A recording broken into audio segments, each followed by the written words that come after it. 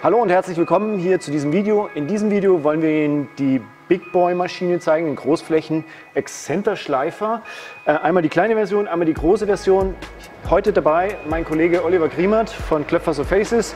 Und äh, weil man die Maschine auch einfach mal im Einsatz sehen muss, deswegen haben wir uns gedacht, machen wir uns einfach mal die Arbeit für ein Video. Olli, du erklärst uns das Ganze. Genau. Leg mal einfach mal los. Ähm, warum, was sind denn da die Vorteile von dem Excenter-Schleifer? Ja, also im Prinzip haben wir hier das gleiche System. Wir haben hier einen Excenter-Schleifer, auch wenn man es im ersten Moment nicht sieht. Aber es ist wirklich ein Excenter-Schleifer. Einmal eben den kleineren, der hat jetzt zum Beispiel 18 Kilo und der größte hier drüben, der hat 22 Kilo. Wir haben hier ungefähr eine Schleiffläche von A4 und hier die größere Schleife, also die doppelte Schleiffläche. Das heißt, gerade wenn man es mit einem 150er Schleifteller vergleicht, haben wir hier die vierfache Schleiffläche und hier die achtfache Schleiffläche. Das Ziel soll sein, dass der Verarbeiter, der Handwerker deutlich schneller ist. Wir werden das später auch mal zeigen in Action, wie die Maschine läuft und dadurch haben wir halt wirklich Vorteile, was die Zeit angeht und auch das Schliffbild angeht. Also die kann mit einem 150er Exzenter wirklich konkurrieren. Bei heiklen äh, Oberflächen wie zum Beispiel unser Mineralwerkstoff Hymex äh, haben wir sogar keine Schleifkringel mehr drauf. Ähm, dazu denke ich mal, kommen wir später aber nochmal, wenn wir die Maschinen mal zeigen dann. Du hast ja ähm, einige Platten mitgebracht, von der Treppenstufenplatte bis hin zur LG Hymex Platte. Was kann ich denn alles mit dem Big Boy im Prinzip schleifen? Mhm. Also wir haben die Maschine eigentlich mit ins Programm aufgenommen. Wir von Surfaces als Distributeur für Hymex Mineralwerkstoff haben die äh, auch mit aufgenommen, weil wir natürlich davon überzeugt werden für unsere Oberflächen. Aber im Laufe der letzten Woche und Monate in der Vorstellung bei den Kunden haben wir festgestellt, dass es eigentlich nahezu auf allen Flächen verwenden kann. Also ich kann Mineralwerkstoff schleifen, ich kann eine Massivholzplatte damit schleifen, ich kann Furnier schleifen, ich kann Fußboote damit abschleifen. Wir haben Zimmerleute, die nur Biken damit schleifen, die halt vorher mit einem 150er Rotex gearbeitet haben und jetzt sagen, boah, eine tolle Fläche, fahre ich drüber, bin ich deutlich schneller. Also wirklich nahezu für alles, was in der Schreinerei anfällt. Zwischenschliff beim Lackieren zum Beispiel ist auch möglich. Ein Kunde schleift Türen damit ab. Also man muss sich fast selber ein Bild davon machen, wo man sie überall einsetzen kann. Ich glaube, wir können selber noch nicht umreißen, für was alles. Mhm. Also wir haben ein riesen Einsatzgebiet für diese Maschine. Jetzt ist die äh, relativ schwer, aber du sagst, dass die tatsächlich beim, bei der Anwendung ähm, relativ leicht ist, oder? Genau. Also diese Maschine mit 18 Kilo oder auch mit 22 Kilo, also das Schwerste ist wirklich, die Maschine auf die Fläche zu setzen. Alles andere ist dann wirklich, ich sag mal, ein Kinderspiel. Weil die, die, die Maschine läuft so ruhig, dass ich die mit einer Hand führen kann und somit die kompletten Flächen schleifen kann. Ich muss keinen Druck, Druck ausüben, sondern durch das Eigengewicht, eben 18-22 Kilo, habe ich wirklich ein sauberes Schleifbild und auch ein Top-Ergebnis danach.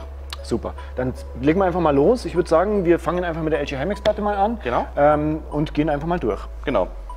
So, bevor wir mit der LG Hymex Platte äh, loslegen, jetzt hast du auch ganz bewusst eine schwarze Platte mitgebracht, gehen wir dann noch mal ganz kurz aufs Gerät selber. Was sieht man denn da oder was ist denn da alles äh, ja, notwendig? Also die Maschine ist von der, von, von der Zusammensetzung, von der Bedienung wirklich sehr, sehr einfach. Wir haben eigentlich nur einen An-Ausschalter. Das heißt, ich kann hier keine Drehzahl äh, regulieren. Die Maschine arbeitet mit 2800 Umdrehungen. Ähm, das Einzige, was irgendwann mal getauscht werden könnte, müsste, ist unter anderem unten die Klettplatte zum Beispiel. Das kann sein, wenn die mal verschlissen ist, wenn die mal kaputt ist, kann man die wechseln, die kann man abschrauben, kann man einschicken, kriegt eine neue, also relativ problemlos. Ansonsten gibt es hier nicht viel. Wir haben hier noch eine Sicherung drin, das heißt, wenn mal das Gerät nicht anspringt, weil irgendwo die Stromversorgung nicht gepasst hat, einmal draufdrücken, meistens läuft sie dann automatisch eben auch an. Mhm. Wie ist es mit dem Schleifpapier? Schleifpapier natürlich bieten wir auch mit an. Ähm, das sind jetzt hier, ich habe hier verschiedene Körnungen äh, vorbereitet. Wir, wir fangen gleich an, beziehungsweise wenn man die Maschine jetzt umdreht, dann sieht man hier hinten drauf zum Beispiel ganz gut, wie sie ausgeliefert wird. Das heißt, wir haben hier eine sogenannte Staubscheibe drauf. Das ist aber auch gleichzeitig so der Schutz für den Glättteller. Mhm. Den, wenn ich jetzt abziehe, dann sieht man mal die ganze Fläche. Die Maschine war natürlich auch schon im Einsatz. Ähm, und damit kann ich dann eigentlich schon anfangen. Vom, vom Papier jetzt hier beim Mineralwerkstoff bei einer dunklen Fläche, die Platte ist sehr, sehr gut vor, vorgeschliffen.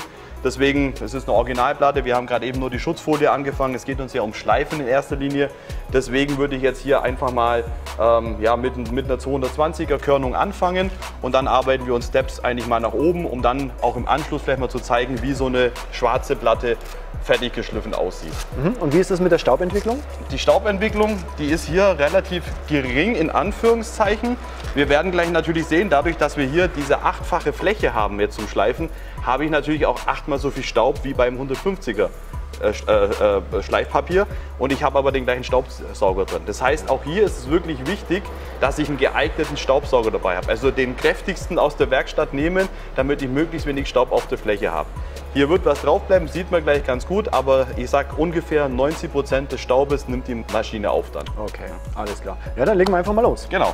Wir gucken jetzt nur, dass das Papier sauber liegt dass es keine Knicke gibt. So, und dann, dann geht es eigentlich schon los. Ich habe hier meinen An-Ausschalter und jetzt sieht man schon, wenn man sie jetzt anmacht, das war schon. Und schon läuft die Maschine.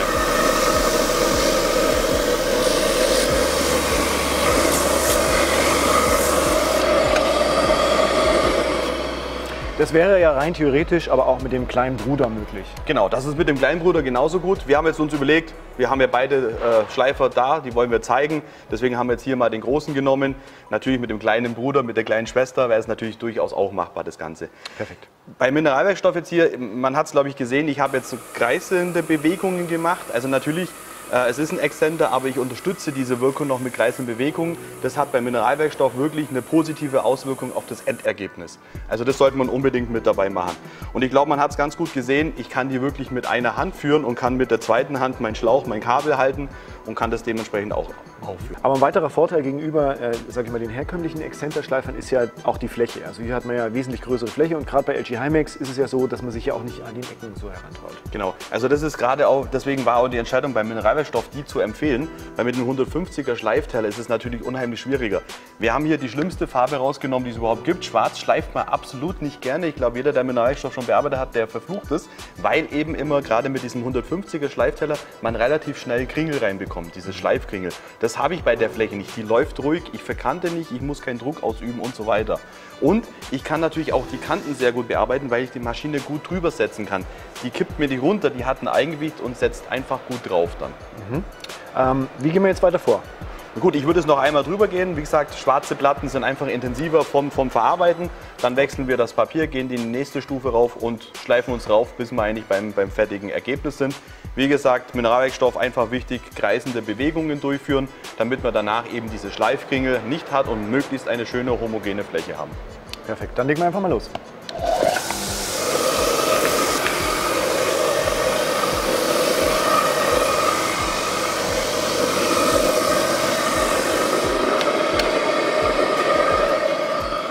Vielleicht auch noch zu sagen ist, beim Mineralstoff, wenn ich die Maschine ausmache, vielleicht kurz vorher einmal anheben und dann ausschalten, weil zum Schluss ruckelt die ein bisschen, dass ich das eben vermeide. Mhm. Ansonsten hat man, glaube ich, schön gesehen, dass auch äh, nicht allzu viel Staub aufgewirbelt wird. Es wird gleich gleichmäßig abgesaugt.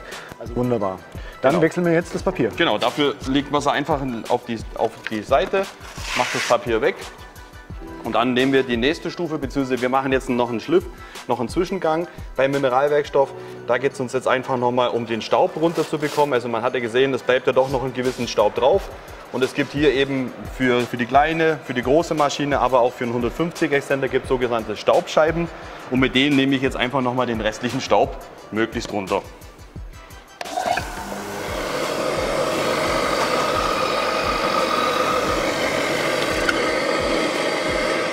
Man sieht relativ gut den Unterschied. Ich habe natürlich immer noch einen Reststaub drauf. Äh, den, den nehme ich mit dem Tuch später noch mal runter, bevor ich rübergehe. Aber den meisten Staub, gerade bei großen Flächen, und wir reden ja hier Schleifer für große Flächen, ist es wirklich eine Arbeitserleichterung, mit dieser Maschine dann ordentlich Staub abzuziehen. Ja, genau. Also wir haben ja jetzt hier nur ein Musterbeispiel. Ich glaube, so eine Fläche würde sich gar nicht lohnen, aber wir reden ja jetzt auch von Küchenarbeitsplatten beispielsweise. Also auch selbst bei der Fläche würde es sich schon fast lohnen, weil ich mhm. deutlich schneller bin. Okay. Ja. Also das ist eben so der also Hintergedanke. Wieder die Ecken. Genau. genau. Wichtig auch hier beim Schleifen immer, ich muss eine satte Auflage haben. Das heißt, wir haben hier einen kompletten Tisch, der durchgängig ist, weil bei 20 Kilo oder 22 Kilo nicht, dass sich die, Becke, äh, die, die Platte durchbiegt, dann habe ich natürlich nicht mehr eine gleichmäßige Schleiffläche. In Ordnung. Mhm. So, wir haben jetzt hier nochmal das Schleifpapier gewechselt. Ich glaube 320er haben wir jetzt da drauf genau. äh, als Zwischenschliff, aber du hast noch viele weitere. Genau, also wir haben jetzt, wir werden jetzt mit dem 320er Papier schleifen. Äh, wir werden dann nochmal mit einem 400er Körnung schleifen und werden dann äh, auf so ein sogenanntes Finishing-Papier äh, wechseln. Das sind eben diese dunklen Matten, diese dunkelgrauen bis schwarzen Matten. Die haben noch einen dickeren Schaumträger drauf und hier werden wir 600 und sehr wahrscheinlich auch 1200er schleifen. Allerdings keine Angst, wir bleiben immer noch beim Seidenmattenbereich. Wir sind noch lange nicht beim Hochglanzbereich. Werden wir aber dann sehen. Ganz kurz, weil du vorhin auch noch mal in der Pause gefragt hattest zum, zum Papier, warum das so viele Löcher hat. Äh, das ist ein Multiloch-System. Äh, dadurch ist es natürlich auch jetzt hier perfekt für die Staubabsaugung. Das gleiche System haben wir auf der kleinen Scheibe auch und damit kann ich es auch auf dem Bosch-Schleifer, Mirka-Schleifer, Festool-Schleifer und so weiter, alle möglichen Schleifer eigentlich einsetzen. Das ist eben der Vorteil von diesem Multiloch-System. Also wir haben ein komplettes System an Schleifmittel äh, sozusagen, aber auch für andere vorhandene Exzenterschleifer. Genau, also wir können unser Schleifpapier für den großen Big Boy eben einsetzen, aber auch, Sie können es bei uns beziehen für den normalen Rotex-Schleifer, welcher Marke auch immer. Perfekt, alles klar, dann machen wir weiter.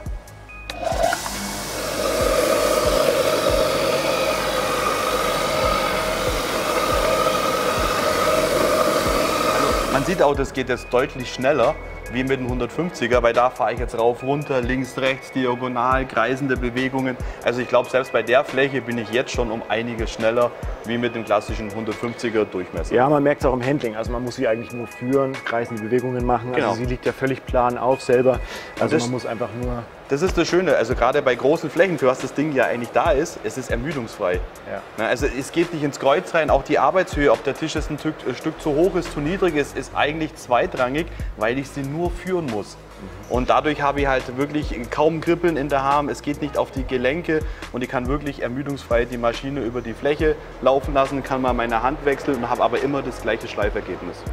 Also ich denke, wir haben schon ein sehr gutes Ergebnis eigentlich hinbekommen.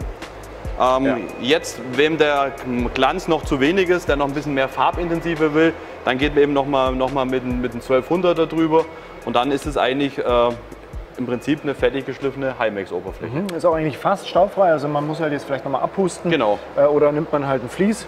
Genau. Nochmal. Also das ist jetzt hier so ein Staubbindetuch, was, es, was wir eben auch haben im Prinzip. Und dann habe ich aber eigentlich eine fertig geschliffene Platte. Sämtliche Schleifmittel und aber auch die Maschine bekommt man über Klöpfer bzw. über Klöpfer Surfaces. Genau. Findet man auch übrigens im Online-Shop unter klöpfer.de. Alles fest hinterlegt oder wenn man auch noch weitere Sachen wissen will, einfach mit dem Oliver Kontakt aufnehmen. Äh, blenden wir nachher ein die Kontaktdaten. Genau. also auch wer die Maschine mal bei sich in der Werkstatt mal, mal ausprobieren will, also wir kommen gerne vorbei, zeigen die Maschine mal vor Ort, dass man auch mal sagt, okay, was will ich selber überhaupt schleifen, der Handwerker, dass man dann eben herrichtet, er will mal ein Furnier schleifen, er will mal Massivholz schleifen, Lack schleifen. Dann kommen wir vorbei, haben die Maschine dabei, haben Schleifmittel mit dabei und können dann auch vor Ort wirklich mal ja, die, die, die, den Schleifer nochmal vorführen und nochmal in kleinen Flächen eben einfach mal testen dann. Apropos klein, dann zeigen wir jetzt den kleinen Bruder genau. mit der Treppenstufenplatte. Richtig, dann gehen wir auf Holz. Ja? So, wir haben jetzt hier eine Treppenstufenplatte vorbereitet. Ähm, einfach mal ja, als Beispiel und natürlich auch den kleinen Big Boy, den kleinen Bruder von dem, wo wir jetzt e-, eben gerade gesehen haben. Was ist da der Unterschied? Also bis auf die Größe? Genau, ähm, also genau.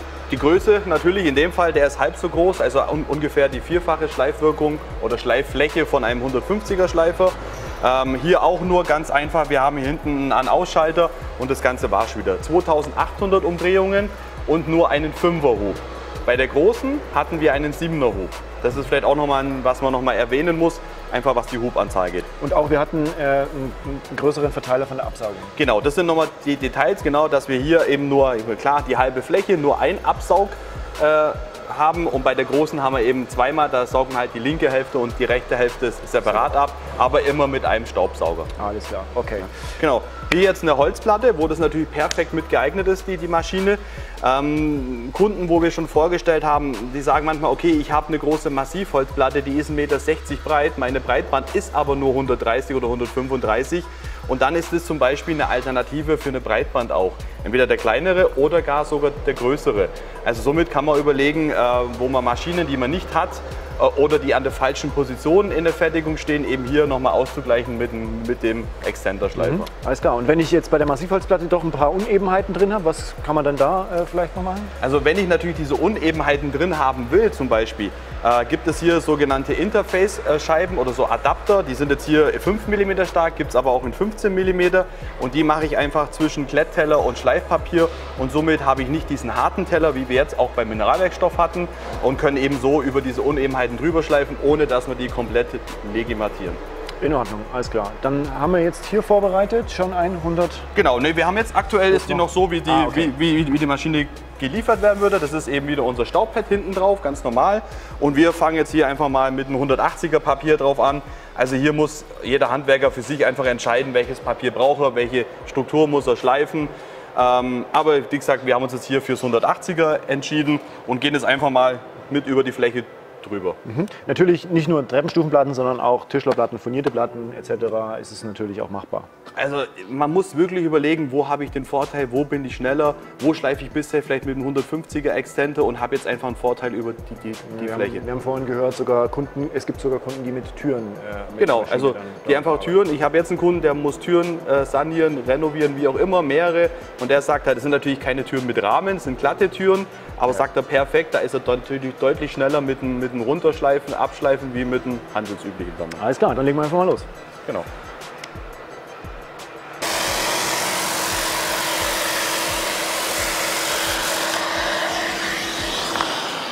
Aber man sieht jetzt hier schon auch, äh, dadurch, dass es halt ein flacher Teller ist und der auch relativ groß, groß ausliegt, äh, eigentlich schon ein schönes Ergebnis. Ne? Also auch äh also ich glaube, wenn man drüber fasst, man spürt einen deutlichen Unterschied. Das ist also wirklich deutlich feiner und glatter wie, wie, wie die Rohplatte in dem Fall.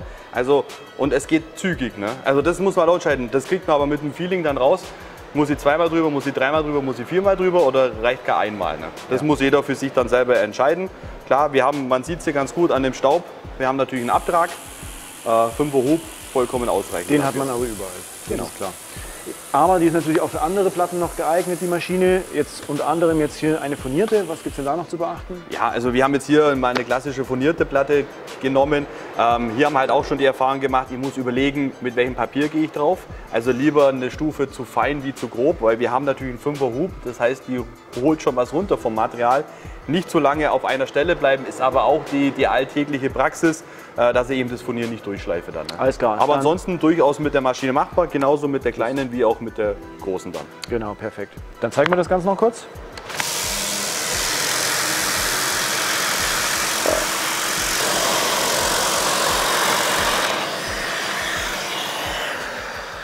Auch ein sehr, sehr schönes Ergebnis, aber man merkt auch die, die Power, die dahinter steckt. Die Platte, die will natürlich weg. Klar, genau. so kleine Flächen ja. ist äh, logisch. Ähm, da will die Platte natürlich auf Reise gehen. Ähm, das Teil wiegt natürlich einiges und hat natürlich auch einiges an Power. Super. Genau. Ich denke, das Ergebnis kann sich sehen lassen. Vielen Dank, Oliver, äh, dass du uns das gezeigt hast. Einmal der Big Boy Junior und einmal der große äh, Big Boy. Sollten Sie sich interessieren für so eine Maschine, dann fragen Sie doch am besten Ihren Ansprechpartner vor Ort. Ähm, wir können natürlich auch den Oliver Grimmert mit ins Boot holen. Sie finden aber auch die Maschinen direkt auf klöpfer.de im Online-Shop. Ähm, auch da gibt es auch noch weiterführende Informationen dazu. Vielen, vielen Dank für, fürs Zuschauen. Wenn Sie sich interessieren, äh, kommen Sie gerne auf uns zu. Bis bald, bis zum nächsten Mal und tschüss. Tschüss.